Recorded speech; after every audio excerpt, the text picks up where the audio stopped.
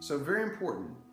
E, E minor, E, E minor, okay? Okay. Now, if I take this finger and put it right here and play that, what chord is that? Oh. Well. It looks kind of like a C. No? No, Wait. here's E minor. Okay. Okay. So move it here and put it your one fret finger, or two fret? one, just only one fret. I don't think Now you gotta use your pinky and your ring finger, not your oh, middle that's finger. Right. That's right. And There this goes Mhm. here. So there it is, F. Now that's an F minor because we don't have the middle finger down. See? See that looks like, Fingers are so short. okay, so look, now if we put this middle finger down, what chord is that? Right there, uh-huh. And then this Oh. finger's right there. Here. Ah, here. Yeah, and then you gotta bar all these. There you go. F? Good. Now, if we move it up a half step, what is that? G. No, got one more in between there. You're close. You're very Oh, close. it F sharp minor? F sharp. F sharp. Now, if you raise up your middle finger, it's F sharp minor. Okay. Now it doesn't have to sound good. Well, it's it's going to because you don't practice bar chords. Okay. Okay. Now, right here, what chord is that? That would be G. Good. And if I do like this, G minor. good.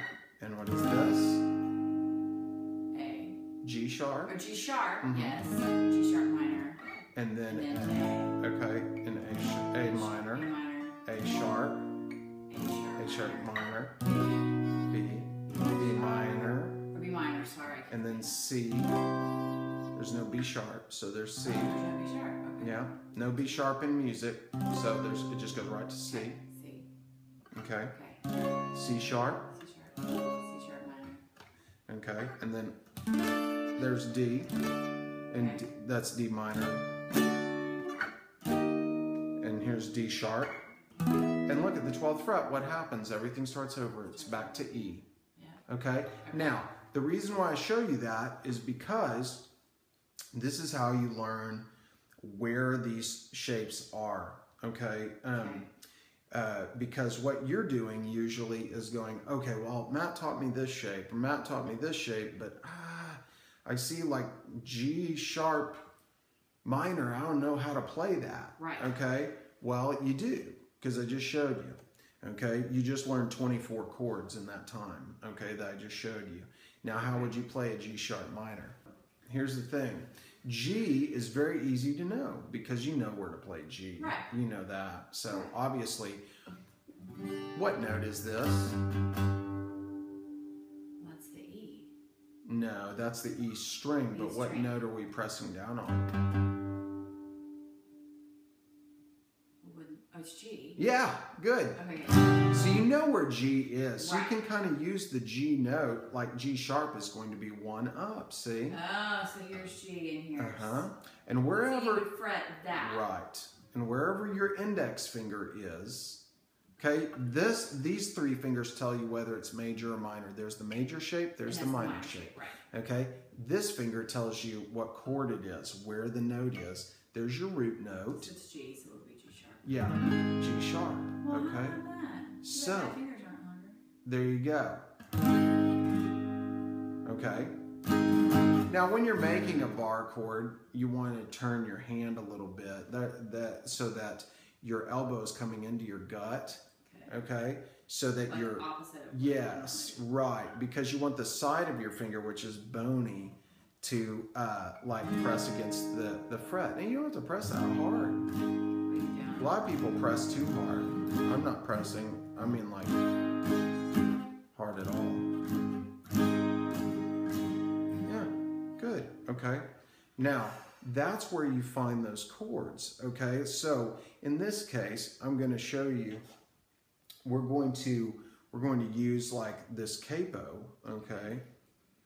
And yeah, on two because, and you're like, well, wh- how do you know when to use a capo and not? Right. Well, look at this. If you look at this music, it's G sharp minor, F sharp, D sharp minor. Well, I don't want to make all those bar chords. Technically, that song would be this F sharp, right? Because we just said that's an F sharp, G sharp. Uh, no, it'd be G sharp minor first, F sharp, and then uh, D minor. I, I just know that this one is over here, or D sharp minor, excuse me. Okay, so it's a bunch of bar chords. We don't need to know that, and we don't want to do that. Well, look at this. I can use the capo to take care of one of those bar chords. Okay. Okay, which is the lowest bar chord for me. Okay. Okay. Now that's a that takes a lot of time to really understand. When you're like trying to figure out, you're like, Matt, I could probably, with what you told me today, go home and play count it out, G sharp minor to F sharp. And then and then if you had to play a D sharp minor, you're like, oh crud, that's all the way up here. You know, Right. uh, I could do that. I don't want to. So anyway, I want you to understand the principle of it. Okay. Do you understand? The finger acts like a capo. It acts like the nut of the guitar. Okay, so if this is an E, it just makes sense that you could take that same shape and move it up here. Well, if you play that without these being capoed, you have these open strings, see? Mm-hmm. Well, you can't do that. That that means that these notes, in relation to these notes, just got further away. You have to move the whole shape up. Does that make sense at all? Yeah, a little bit. Okay, so it's all about spatial reference. You cannot, you can't like like this note is an E note. This note, this open note is an E note. This open note is B. Remember that's a B string. Uh-huh. Okay. Well, look at these notes. Let's just these these are three specific notes. Like this is B, this is another E, and this over here is a G sharp. Well, if I take those and move them up here, all of a sudden these notes become C, F, and um, what did I say? That's G sharp. So that becomes an A. Well, you can't play those notes along with an E, a B, and an E. Those sound different.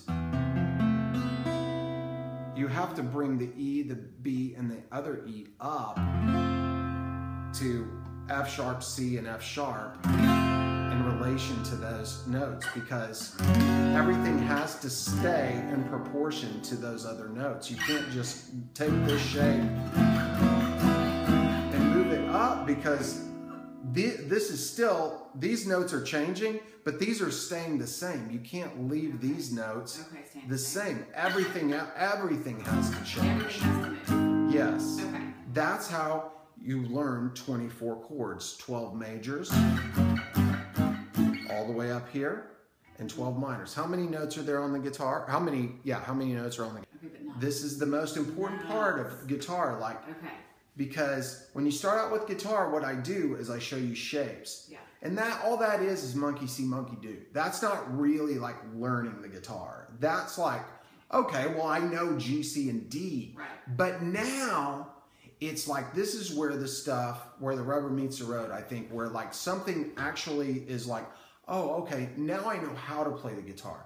This gives you the ability Okay. to go, I can play these chords. Okay, and I'm gonna show you how you do that. Okay. Okay. Tricky, So would I okay. just be here? Uh huh. So that's F sharp. Is it F sharp major or minor? It's major. So how do you make it major? There you go. You did it. Minor. Minor is without that. Minor's yeah. without. Yeah. You'll quickly know when you listen to the song Right. if you are major or minor. But there's major. Very good. You're getting the idea. So we didn't have to use our finger for that Right. one. Yeah, yeah, it's like, wouldn't that be nice, right? Okay, now look, I'm just gonna save you the trouble. I just Okay. wanted you to get the idea. D sharp minor will be all the way up here. We're not obviously going to play it all the way up here. Okay, that you can do on the A string, but we're not. We're we're going to do a special little chord there, and I'm going to show you. Now look at this. Do you remember this shape that we've done before? Do this. Play play play the G sharp minor. Go up to that one that you were you were showing me just a moment ago. So, so you can play G sharp minor like this. That's right. You're very right. But look, there's another special way we can voice this that we've done before. It's just a special open chord. Just don't even ask me. We've done this a million times before in other songs. Just leave your fingers right there. Right here. Uh huh. And then take It's your like pointer finger.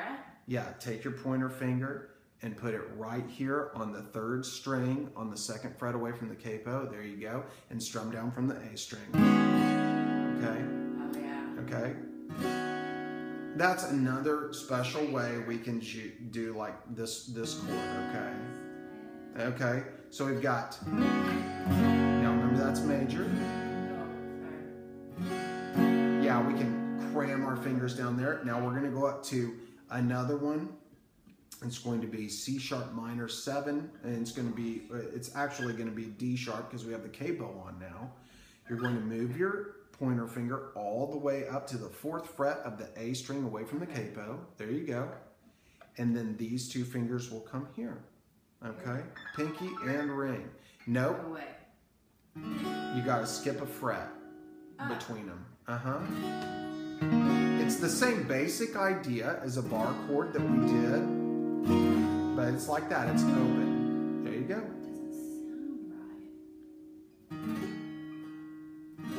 There it is. There you go. Okay. So